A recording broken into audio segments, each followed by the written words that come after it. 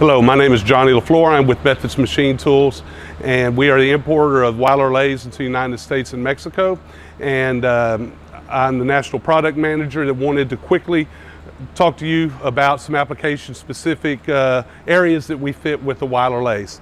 Um, if I have a standard production lathe and I got one or two pieces and I need to be able to quickly produce something, especially when it comes to deep boring, drilling, anything like that, I can use a, in this instance, a three inch diameter boring bar block that we mount on our carriage.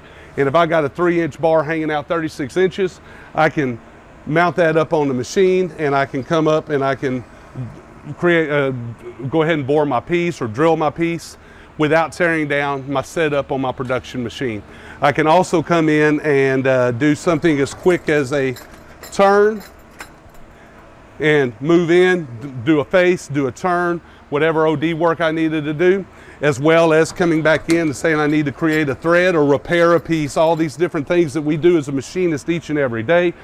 Quick, easy, intuitive to use. For more information, please visit our website at uh, methodsmachine.com or contact your local machine, uh, Methods Machine salesperson. We'll be glad to help you.